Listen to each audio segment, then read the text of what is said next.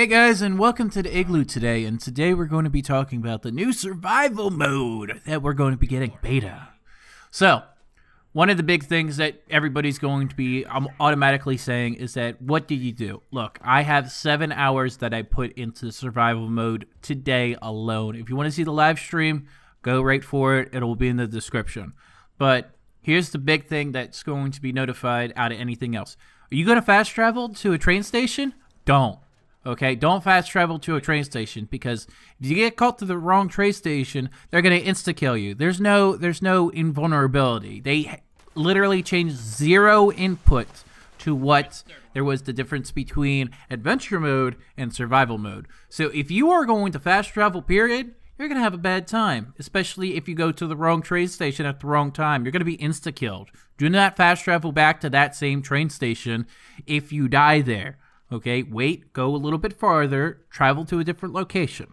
Two, never travel to 76 at the very introductory beginning, where people think that they would be safe. I had one instance that happened to me when I was during the live stream, and I was killed by like 20 people. It, it was pretty bad. Okay, so just let you know, do not at all travel when you're not prepared. Anytime you take a fast travel, you take a risk. Same amount of people were on the server, which, again, to be fair, at this point, everybody's just going to be fighting around train stations. All of my fights, or a good majority of my fights, were at train stations because that's where all the PvP action was. At the same time, again, if people are stupid and then they fast travel to that same train station, just keep shooting them because there is no fast travel invulnerability. This is an oversight on Bethesda's part, and it's not at all on the player's fault at all. Why would you want to have a fair fight when you can literally farm the same person for 3,000 caps? It makes no honest sense, and then you can just pick up all their scrap, all their aid, and everything else because they want to keep being frustrated and teleporting to the same spot. Now, I can understand if there was, let's say, seven, eight different spots that you could fast travel to at each train station. But that's not the case. It's the same spots as what they had prior in adventure mode, which means do not fast travel if you got killed to that spot. You will have a bad time. You might want to get your gear back, but at the same time, you're going to get killed. I gotten over probably about 9,000 probably a little bit closer to 10,000 now at this point because I've been playing a little bit more off stream when I came to this. But again, do not. Okay, any events that is pretty good. Like, let's say you are trying to take over a nuclear facility or something like that. You will be shown as friendly. So the only times that you will have ceasefires are in event zones that cause you to play together. So any kind of enclave event, any kind of uh, Brotherhood of Steel event, anything that is a event is a safe zone for a player, okay, for that short period of time. But the minute that that is completed, it's the freaking Alamo and everybody's shooting each other all over the place. You will not survive in the main majority of the sense as the average player. You might need to have something completely a little bit different when it comes to most of this retrospect. Again, I did about seven hours of this.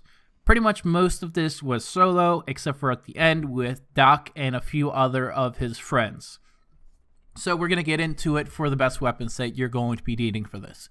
So, my invisible melee build that I put out in video form, yeah, that's pretty much viable. When it comes to, let's say, a shotgun, any kind of thing that adds a multiplicative factor when it comes to it, when it comes to pellets or anything in that kind of retrospect, take it, use it, make sure you abuse it because that's literally what you have. I have a bloodied explosive combat shotgun. I have a quad explosive harpoon and I have an anti-armor Deathclaw Gauntlet that I was using throughout most of this majority of the fight. Now I know that there's also some pure builds that are in this mode. If you're doing this to level up, don't, okay? You will have a bad time. You not only will be playing on hardcore mode the whole time, but all it takes is one person with a crazy nitty build like myself, Doc, or a few other people that play this game that have decked out to the nine explosive weapons and they won't help you. You will die instantly.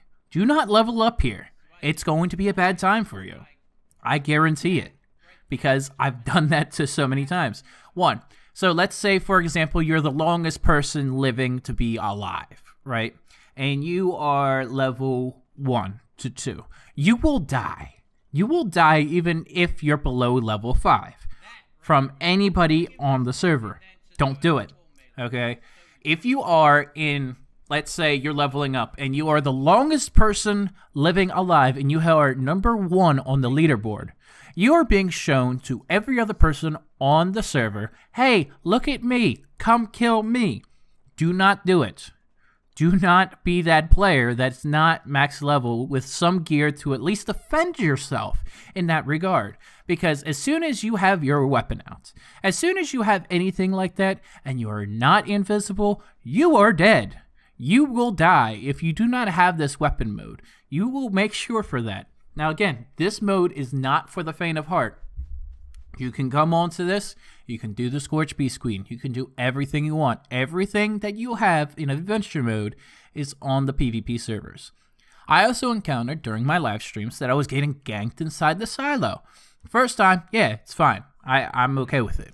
Second time, when I was in going into the silo, he was still hitting me in the regard of actually as soon as I went down the elevator shaft. I was being meleeed. So that whole animation time, yeah, I died. I died again. And then I died. So I died, yeah, I died like a handful of times, but at the same time, I had surplus.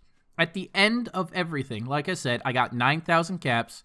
I got so many different, like, aid items and everything else. Yeah, I lost some stim packs and a few other things, but that didn't matter. You know what I was collecting? Ballistic fiber so that I can continue repairing my armor and everything else while everybody was dropping it. But then at the same time was taking all their stim packs so they can't fight me back anyway in the first place. Because why? Because stim packs are actually useful now when you actually drop them. So you keep spawning at that train station. You keep doing that. But at the same time, there is no balance. They said that they nerfed damage in PvP. No, they didn't. They didn't really nerf anything really when it comes to PvP damage. I'm still one-shotting people. I'm still one-shot meleeing people. And if you're pure build at the same time, you're still gonna one-shot melee people it's it's laughable that they even put this out there and they said for balance. There is no balance. There is no anything. It's still one shot, two shot, maybe three shot killing players, but at the same time, if you have Assassin Sentinel, Assassin Cavalier, you are going to die less, but you're still going to die if you get yourself out of spec mode. When you're in Assassin Sentinel, you need to be jumping in place. But at the same time, you can die if somebody has something powerful enough and they're OP enough. This has happened to me a few times during live stream. Again, you're not invulnerable. Half of it is that you have to shoot first before that other person shoots. Again, it's just collecting at the end of the day. And then people are just like, oh yeah, you just freaking suck and you do all this stuff and you are invisible.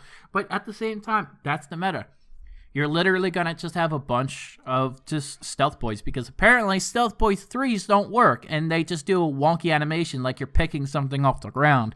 Don't get stealth boy threes, just get stealth boys. They work better. You can use the perk card. I only have perk card two when I was doing most of the what I was doing in the live stream. But again, it's really bad. Just make sure for that. Is it worth the 20% bonus XP? Hell no. It is not worth the 20% bonus XP because you have a few other stipulations that you have to look into. One, you have to make sure that you are going around and you're making sure that you are okay. Two, you got to make sure that you're not on the top three leaderboard because as soon as you're on the top three leaderboard, somebody's hunting your ass. And your whole experience, including a lot of your aid items. Almost everybody that I killed dropped massive amounts of aid items. Don't carry anything at all when it comes to your aid. If you want to carry a fuck ton of stuff, this is not the place to do it. Do not carry any aid whatsoever besides like what you need in order to do PvP because it's going to be gone a lot of it does drop. Like I've had stacks of 60 drop. I had stacks of like 80 drop, 100. I got like I think 600 candy from somebody as well. And then at the same time, I got like 20 things of like different brews from the DLC because people just been harboring all the aid. I just don't care for the aid section anymore, besides Nuka Shine and a few other things. And even then, I lost some Nuka Shine at that point. I had two, and then I lost one. And I was just like, you know what? I'm just going to collect Nuka Quantums. I'm going to get some things from people. And then there were some times where I was getting stacks of 13 Nuka Quantums, 14 Nuka Quantums, 30 stacks of Nuka Quantums from people. And it's just so crazy. The amount of stuff that you're getting when it comes to this and legendary rewards on top of it. I don't even know how to even collect them, but I was just literally killing so many people that I was just like, all right, so I almost filled up this character with caps and I had fun doing it by just killing everybody on the server over and over again. And at the end of it, I had just a squad. A squad all in my build oh, no, is literally the most overpowered thing that you can possibly do in Fallout 76. One, they can't respawn back. Two, if you're at a train station and they want to try to get back to you, they're just going to keep killing you over and over again at the train station. And if you're dumb enough to just keep going on the train station over and over again, then that's your fault. I can't help it. Don't go to the train station. I don't know how many times I'm going to have to tell you during this video. Don't go to the train station if you die at the train station. You're going to lose more shit. You're going to get mad and you're not going to be able to win. Plain and simple. Yeah, there was one to two guys that were really OP and had pure builds throughout that seven hour experience that I had. And you know what I did? I tried to get him maybe two to three times, and I'm like, oof, I shouldn't do this anymore because I lost a thousand caps. And I went to another server, and then I killed more people that weren't in spec. Again, those people that are in spec, that are in PvP mode, they're going to know what to do to fight you. They're going to know how to fight you. Okay? It's not going to be worth it if you know what to do. Again, if you're invisible and you can invis melee people, great. You have the spec for it, right? You're good. Okay. But for everybody else that is in different builds and they're not pure builds, you're going to get hurt and you're going to lose a lot and you're only going to make them wealthier at the end of the day. Okay? If you guys like this video, please leave a like, leave a comment down below. And this is really broken, so I expect to see a hot fix pretty soon. And if you really like my stuff, there's a Patreon down below as well. Join my Discord, just like I try to say as much as I can, because we can stop spreading misinformation and we can literally just tell everybody facts as best as we can, especially for this. Okay? Don't go to the train station if you die. Have a good one, guys.